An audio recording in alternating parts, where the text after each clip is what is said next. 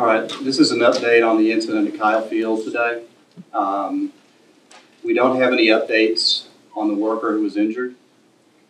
But I can tell you that we are investigating right now. On site, we have UPD, Manhattan Vaughn, who's the main construction company, and uh, OSHA will be here momentarily.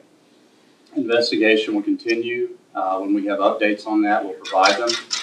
Uh, We'll issue a formal release later today with more information. That's all I have right now. Thank you. Can you clarify better just how, from when we were outside about falling, that it was like the fourth floor? Just because the lighting's better in here. Okay, the uh, injured worker was working on level four in the northeast end of Kyle Field.